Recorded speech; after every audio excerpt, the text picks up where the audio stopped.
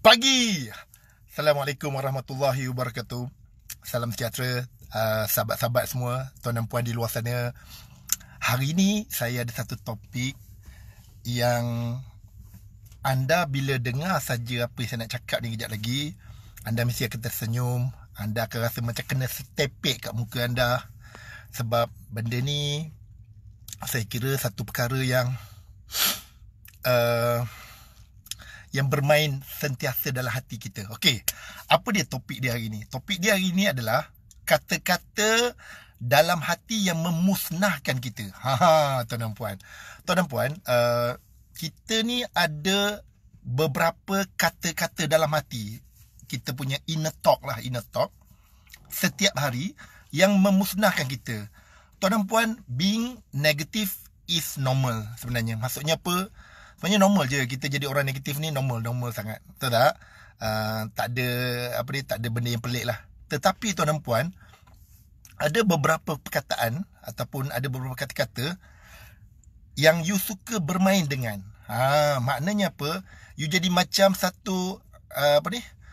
Uh, satu benda yang you kena you you buat setiap hari tanpa sedar sebenarnya. Dan bila you buat sesuatu setiap hari tanpa sedar, itu yang jadi you ni uh, tak berjaya mencapai apa yang you nak dalam hidup. Okay? So, hari ni topik saya adalah kata-kata yang memusnahkan hari kita. Ha, okay, tuan dan puan. Cantik. So, boleh kita mula eh? Cantik, tuan dan puan eh? Okay? Sebelum tu, tuan dan puan, uh, minta share sikit, boleh eh? Ha, boleh minta share sikit. Kalau tak share pun tak apa sebenarnya. Okay? So, tuan dan puan, apa empat kata-kata yang memusnahkan hari kita? Okay, by the way, tuan dan puan. Tuan dan puan, uh, kita selalu claim yang orang lain sebab orang lain lah kita jatuh, sebab orang lain lah kita jadi begini, sebab orang lain lah kita begitu dan begini dan macam-macam lah, betul tak? Tapi sebenarnya tuan dan puan, uh, sebenarnya yang memusnahkan kita adalah diri kita sendiri sebenarnya. Dan ini kita tak perasan. Sebab kita terlampau ego untuk mengakuinya. So hari ini saya nak share dengan anda empat kata-kata yang memusnahkan hari kita dan dia akan musnahkan hari ini, dia akan musnahkan hari besok, dia akan musnahkan hari uh, akan datang dan you know what? Ini paling best. Dia telah memusnahkan hari-hari sebelumnya. So, tujuan saya kongsi dengan anda adalah untuk buatkan anda sedar tentang kata-kata ini dan seterusnya anda tak bermain dengan dia lagi. Dan kalaupun kalau benda tu mendatang sebab benda ni selalu mendatang kan, anda tahu macam mana nak overcome, anda tahu macam mana nak mengatasinya. Supaya apa tuan dan puan? Supaya kita sentiasa bersangka baik dengan Allah tuan dan puan. Tuan-tuan dan puan, aku adalah samba sangkaan hamba-Ku. Ayat ni tuan-tuan dan puan dalam ayat kursi tuan-tuan dan puan, Allah beritahu tentang bagaimana kita ni sangkaan hamba. Allah ni sangkaan hamba dia. So sebenarnya uh, huraian dia mudah aja tuan dan puan. Kalau you fikir benda yang bagus pada hari itu, InsyaAllah Allah bagi kita benda yang baik. Tetapi kalau you fikir benda yang bergenda yang negatif Dan itu juga yang kamu akan terima. Macam itulah saya apa ni kupas ayat ni tuan-tuan Walaupun kupasan saya lemah Tapi saya harap tuan-tuan puan dia lebih baik daripada kata-kata uh, Yang memusnahkan hari-hari anda. Okay boleh ya? So sebelum tu saya nak uh, ucapkan uh, terima kasih kerana join saya. Zairi Subuh, khabar orang Melaka. Uh, Sarima Fadzila, thank you much Sarima kerana join saya. Um, Asana Asana thank you kerana join saya Asana Hazik Dola Acur Blado Masya Allah tuan. Nama tuan ni uh, Muhammad Hazik Terima kasih kerana join saya eh. Okey tuan dan puan uh, Apa empat perkara Yang memusnahkan hari kita? Kata-kata yang memusnahkan hari kita. Saya ada empat perkara sebenarnya Yang saya nak share dengan anda. Nombor satu adalah Anda suka cakap macam ni Aku dah cuba segala-galanya. Aku dah cuba segala-galanya. Ah, Ini satu benda yang saya nak mula dengan Okey? Tuan dan puan um, kita suka bila orang kata, eh, kau dah buat macam ni tak? Uh, kita suka cakap macam ni dalam hati kan. Kita cakap apa? Alah, aku dah cuba dah. Alah, aku dah cuba dah. Alah, aku dah pernah buat benda ni sekali. Uh, aku dah pernah dah. Dulu aku pernah buat dah. Tuan perasan tak? You you suka cakap macam tu dalam hati you. tuan dan puan. Tuan dan puan tahu tak? Bila you cakap macam tu dalam hati you, dan you kerap bercakap benda tu tuan dan puan, itu yang jadi masalahnya. Kita ni sebenarnya meningkatkan ego kita saja. Dan ini bahaya sangat tuan dan puan. Okay. So, aku dah cuba segala-galanya. Tuan dan puan, first of all, uh, saya selalu buat coaching tuan dan puan. Saya selalu coach people lah uh, Boleh kata bukan orang biasa-biasa saja Malah ada beberapa orang yang consider orang-orang hebat tuan dan puan Saya tengok tuan dan puan uh, Mereka ada masalah ni juga tuan dan puan Di mana dia rasa dia dah cuba segala-galanya Tuan dan puan uh, First of all anda kena faham macam ni. Anda sebenarnya tak cuba segala-galanya tetapi anda berhalusinasi yang anda dah cuba segala-galanya. Sampaikan kadang-kadang apa yang anda pernah nampak orang lain buat itu anda rasa anda dah cuba. Ini tahap gaban punya halusinasi. Maksudnya apa? You have seen people do that. Anda pernah tengok orang buat benda tu dan anda claim anda pun dah buat. Ini penyakit kau. Penyakit aku, penyakit semua orang dalam ni. Okay. So, tuan dan puan, tips nombor satu adalah, kata, apa ni, sorry. Kata-kata dalam hati yang memusnahkan hari kita adalah, kita suka cakap, aku dah cuba segala-galanya. Padahal, sebenarnya ada di kita antara kita yang tak pernah cuba benda tu, tetapi pernah tengok kawan cuba. Uh, this is bad, tuan dan puan. Okay. Satu. Kedua, tuan dan puan, anda pernah cuba sekali. Pernah cuba dua kali lah. Dua kali, dua kali. Eh, tiga kali, tiga kali. Tetapi anda claim anda dah cuba. Soalan saya adalah, adakah anda buat yang terbaik, bro? Ha? Adakah anda buat yang terbaik? Ha, let me tell you, kalau anda buat yang terbaik, insya-Allah anda akan jadi lebih baik. Tetapi bila anda uh, apa ni tak mampu kecapi benda tu, maknanya you tak buat yang terbaik. Semua orang tahu dalam dunia psikologi tuan-tuan puan bila anda buat sesuatu betul berulang-ulang-ulang-ulang kali, biasanya anda dapat menakluk benda tu berdapat uh, apa ni kemahiran tu tuan puan tetapi kadang-kadang anda buat sekali je. Adalah dua kali adalah tiga kali. Tuan dan puan saya sendiri buka syarikat. Saya buka syarikat tuan dan puan bermula daripada umur 18 tahun tuan dan puan sebaik saja boleh buka syarikat saya dah buka syarikat dah. Saya buka macam-macam syarikat tuan dan puan kan sampai saya dah boleh jadi konsultan untuk apa ni macam mana nak buka syarikat. Nah, syarikat enterprise ialah tuan dan puan kan. Nak cerita apa tuan dan puan saya dah cuba banyak kali tapi rupa-rupanya that is nothing. That is nothing tuan puan so yang ni lah tuan-tuan dan puan uh, apa ni uh, yang yang menjadi masalah pada kita yang mana kita suka dikala orang kata eh kau buat macam ni boleh tak? Kita suka cakap apa? Alah aku dah cuba dah. Dalam hati. Tapi ada juga yang gana cakap apa tau? Dia kata macam ni hmm, aku dah cuba dah. Aku dah pernah buat. Aku dah pernah buat dah benda ni Allah ni. Tuan dan puan please stop it jangan cakap aku dah cuba tuan dan puan. Apa cara untuk atasi benda ni? Tunggu sampai akhir sesi ni tuan dan puan. Ha. Ha, ni saya nak buka-buka-buka dulu, buka-buka dulu tuan dan puan. Sebab saya nak anda faham konteks saya ni dulu sebelum saya bagi konten pada anda tuan dan puan eh. Sebenarnya dalam dalam kita buat penyampaian konteks lebih penting daripada konten. Kenapa tuan-tuan puan? Dalam konteks ada emosi, dalam konten tak ada emosi tuan-tuan puan. People change when there is a emotion tuan-tuan puan. Pasal saya suka share dengan tim saya dengan alumni saya tuan-tuan puan. Saya saya tunjuk dengan mereka tentang konteks sebenarnya. Okey? Begitu juga anda dalam digital marketing, you buat copywriting, you buat storytelling, your context must be marvelous tuan dan puan. Okay, so itu nombor satu. Kata-kata yang uh, memusnahkan hari kita.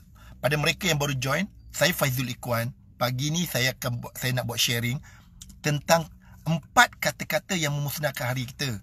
Kata-kata pertama adalah aku dah cuba segala-galanya. Saya dah go through dah. Anda kalau berminat, anda kena tengok daripada awal. Okay, boleh ya? Tuan dan puan, kata-kata kedua tuan dan puan. Kata kedua adalah kita suka cakap macam ni. Dia lain, aku lain. Dia, dia, dia lain, aku lain. Ha, tuan dan puan.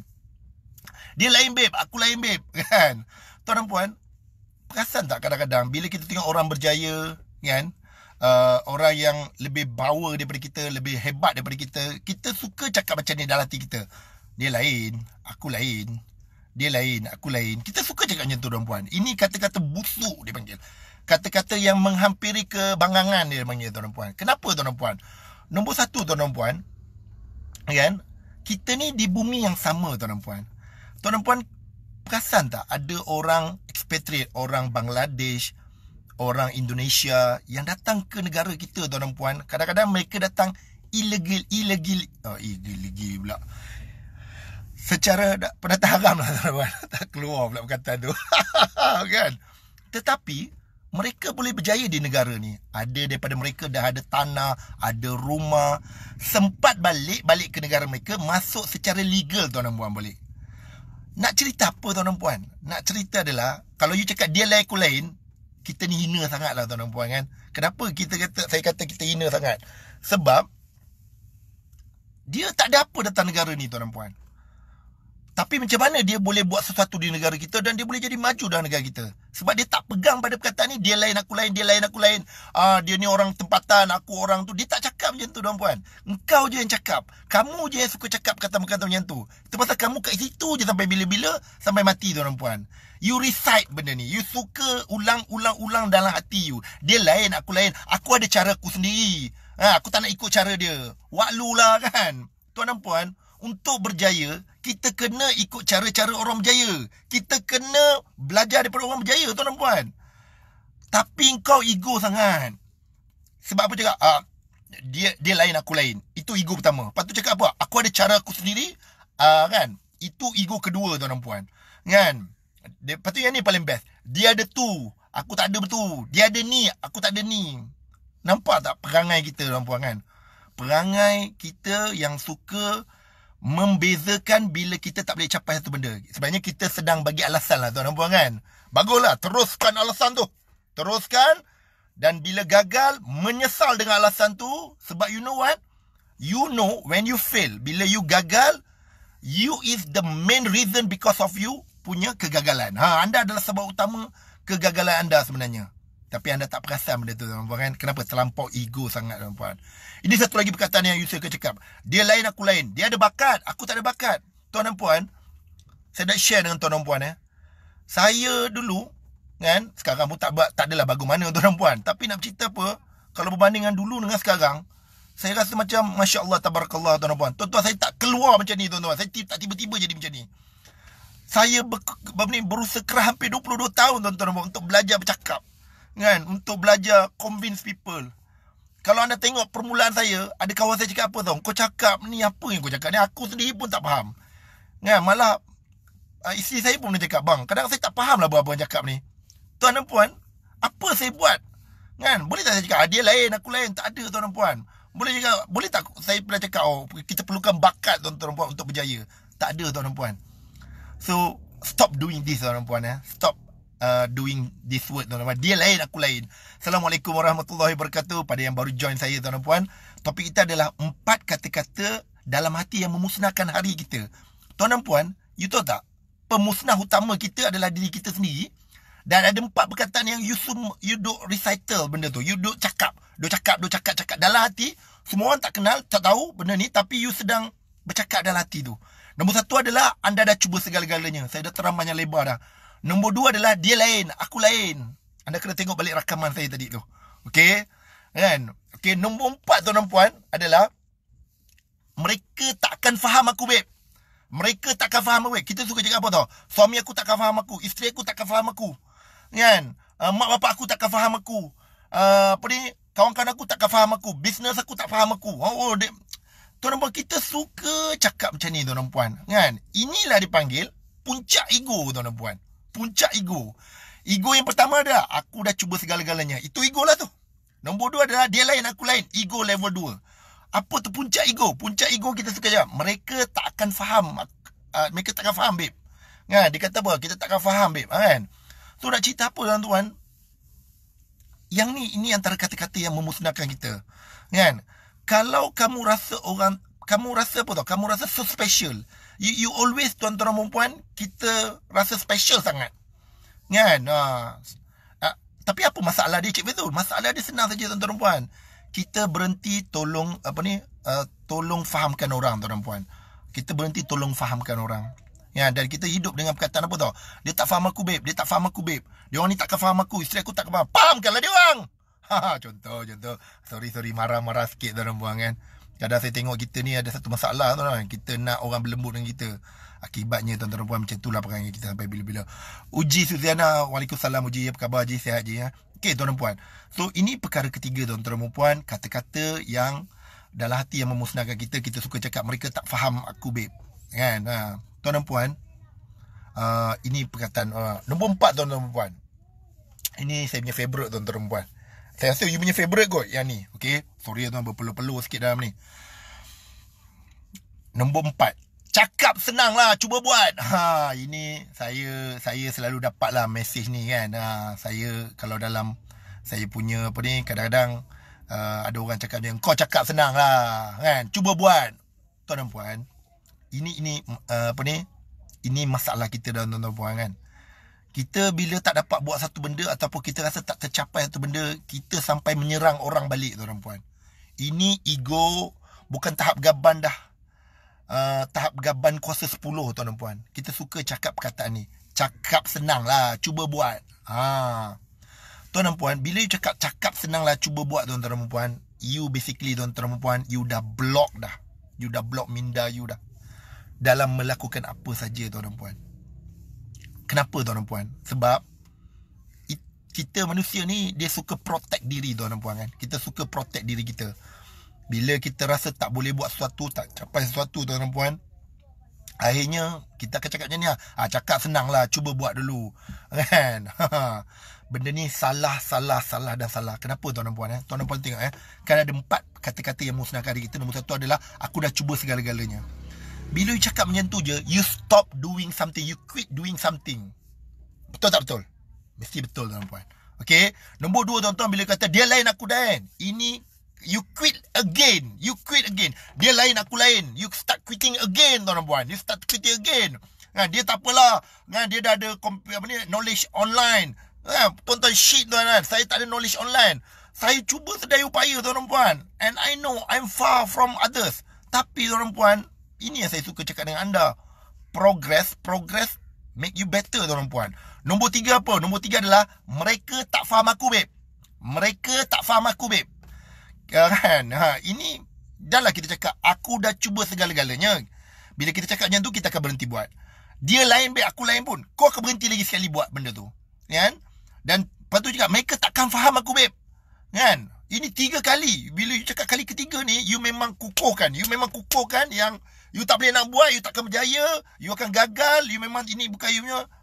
Yang ni tuan dan puan saya, saya sedih lah dengan korang ni semua. Kan? Sedih kenapa tuan dan puan? Inilah apa yang kau ratip setiap hari tuan dan puan. Kan? Perkara yang kau ratip setiap hari inilah tuan dan puan yang buat kau jauh sangat daripada apa ni uh, semangat untuk berjaya tuan dan puan. Nombor empat apa tuan dan puan? Cakap senanglah ini this is the uh, the worst lah tuan dan puan kan. You serang orang balik tuan dan puan dengan statement you. Bila you serang orang balik dengan statement you, dah tak ada apa boleh ubah dah diri you dah. Kan? So begitulah you selama-lamanya kan? Yang tiga tu okey lagi Masih lagi you cakap dalam diri. Tapi bila you cakap nombor empat je Cakap senang lah Cuba buat. Cakap senang lah Cuba buat. You you bila dah masuk dah uh, Apa? Bila dah masuk Gelanggang tu tuan-tuan That's it lah tuan-tuan You hidup dalam dunia you You percayalah tuan-tuan Hidup you akan flat sampai bila-bila Dan Nobody want to be with you Nobody want to be with you So apa nak buat tuan dan puan? Apa nak buat? Macam saya janjikan eh. Okey, Assalamualaikum warahmatullahi wabarakatuh. Apa khabar semua tuan dan puan? Uh, hari ini topik saya adalah kata-kata dalam hati yang memusnahkan hari kita. Saya ada empat yang saya share dengan. Nombor satu adalah aku dah cuba segala-galanya.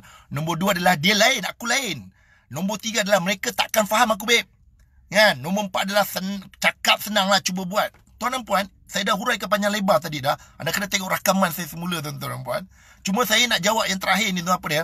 Macam mana nak atasi benda ni Cik Faizul Saya nak share dengan anda Macam mana anda kena atasi benda ni Nombor satu tuan-tuan puan Sentiasa lawan dengan empat kata-kata hati ni Apa maksudnya Aku dah dah cuba segalanya babe Jawapannya Apa lagi aku belum cuba Kan Dah berapa banyak kali aku dah cuba benda ni Apa lagi aku tak cuba You you kena tanya benda tu pada diri setiap hari tuan-tuan puan Apa benda lagi aku tak cuba Kan kalau you boleh tanya benda tu tuan-tuan, dia akan menggerakkan you tuan-tuan. Dia akan menunjukkan jalan pada you. Tetapi kalau you cakap, aku dah cuba segala-galanya. Ini orang menyerah. Diri tuan-tuan. Dan ini bahaya sangat tuan-tuan. Okey. So tuan-tuan, hati-hati sungguh tuan-tuan bila anda buat benda-benda macam ni. Okey. Nombor dua tuan-tuan. Uh, dia lain, aku lain. Kita suka cakap macam tu kan. Dia lain, aku lain. Tuan dan puan tahu tak Bila kita cakap macam tu Apa yang kita patut cakap Kita patut cakap macam ni kan Dia lain tang mana ni Dia lain tang mana Dan macam mana aku boleh uh, Apa ni Boleh jadi macam dia Kan uh, Dia ada apa ni kan Macam mana aku boleh miliki apa yang dia ada Ha, yang, yang ni tuan dan puan adalah benda-benda yang saya kira tuan dan puan anda kena faham dan faham dan faham. Nombor tiga tuan dan puan. Mereka tak faham aku babe. Ya, mereka tak faham aku babe. Kan? Assalamualaikum, khabar semua? Kan? Uh, macam mana nak atasi benda-benda ni tuan dan puan? Mereka tak faham aku babe. Tolong fahamkan mereka. Tolong fahamkan mereka tuan dan puan. Satu masalah paling besar yang kita adalah apa tuan dan puan kan? Kita suka uh, kan? Kejap tuan dan puan. Uh, Okey ke tuan-tuan? Suara saya dengar lagi ke? dengar lagi ke tuan-tuan? Assalamualaikum. okey. Ha, okey tuan-tuan. Hmm. Okey. Ha, suara saya dengar ke tuan? Kalau dengar. Ah, okey. Okey tuan puan, minta maaf lah. Okey, cantik tuan puan eh. Okey. Uh, saya ulang balik yang tadi ada sikit uh, masalah sikit dalam, dalam siaran ni. Okey. Tuan puan, uh, Assalamualaikum warahmatullahi wabarakatuh bagi mereka yang join kita. Uh, ada empat kata-kata yang memusnahkan hari kita. Nombor satu adalah aku dah cuba segala-galanya. Saya dah huraikan panjang lebar. Nombor dua adalah dia lain, aku lain babe. Eh, dia lain, aku lain. Uh, itu apa dia perkara nombor dua. Saya dah huraikan panjang lebar. Mereka takkan faham aku babe. Saya dah huraikan panjang lebar tentang benda tu. Cakap senang lah cuba buat nombor empat tuan dan puan kan? Ini empat kata-kata yang memusnahkan hari kita tuan puan daripada mencapai kejayaan kita daripada bangkit. Ni semua empat perkara ni. So saya dah cerita panjang lebar. Soalan sekarang adalah macam mana saya nak atasi benda tu Cik Faizul. Nombor satu tuan puan tolong bagi perkataan yang berlawanan dengan kata-kata yang wujud dalam diri kita. Contoh-contoh tuan puan aku dah cuba segalanya. Apa, ber, apa uh, lawannya apa? Aku apa benda yang aku tak cuba lagi? Apa benda yang aku tak try lagi? Apa benda yang aku rasa aku tertinggal ini kata-kata yang patut ada pada kau. Patut ada pada aku. Kan? Bukannya layan benda tu tuan dan puan. Boleh, boleh eh? Ini nombor satu. Nombor dua. Uh, empat kata-kata dalam hati yang memusnahkan kita apa? Nombor dua. Dia lain, aku lain, babe. Bila kita cakap dia lain, aku lain, babe, kita macam ada jurangan. So, apa patut kita kata? Apa yang lain tentang dia ni, eh? Macam mana aku boleh belajar apa yang lain tentang dia ni? Kan? Ni bumi yang sama, babe. Kan? So, apa yang lain tentang dia? Kita belajar, tuan dan puan. Kan? Apa yang aku tak kena macam dia ni, kita belajar menjadi macam dia. Susah sangat ke benda tu? Tak susah kan? Betul tak? You can do it, tuan-tuan. Nombor tiga, tuan-tuan. Nombor tiga apa dia? Mereka takkan faham aku, babe. Kita suka cakap benda ni kan? Bila kita apa-apa kita cakap, isteri aku tak faham aku, mak bapak aku tak faham aku, partner aku tak faham aku, yang ni tak faham aku, itu semua tak faham aku. Tuan-tuan puan, lawan dia apa? Please communicate with them beritahu mereka apa yang mereka patut faham tuan dan puan. InsyaAllah mereka boleh tolong kita.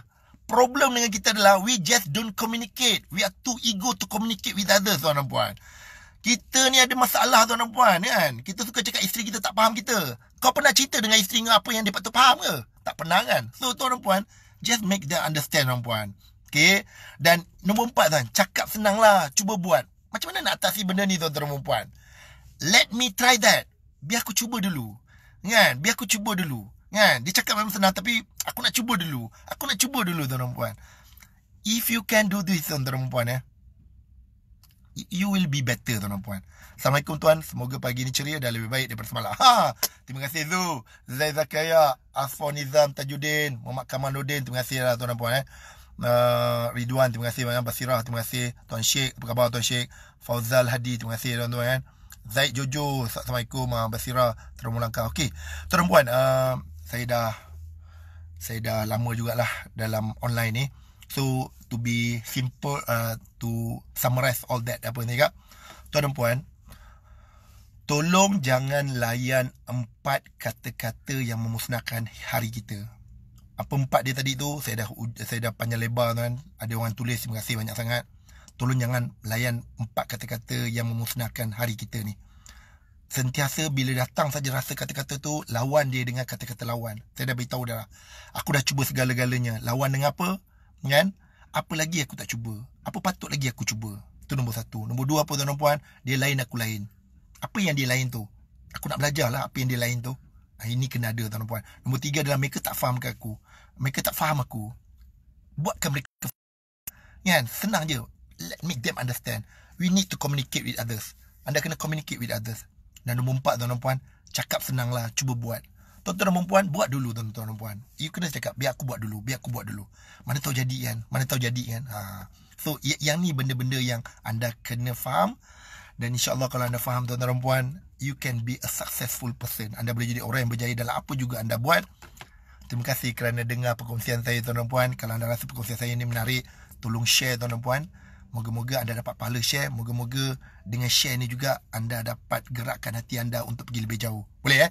So dan puan, terima kasih banyak. Uh, saya dalam mengejar sesuatu uh, InsyaAllah kalau ada rezeki yang besok Allah ilhamkan saya Besok saya akan berkongsi dengan anda lagi Okay So terima kasih banyak-banyak tuan-tuan puan Jumpa lagi Pagi Assalamualaikum warahmatullahi wabarakatuh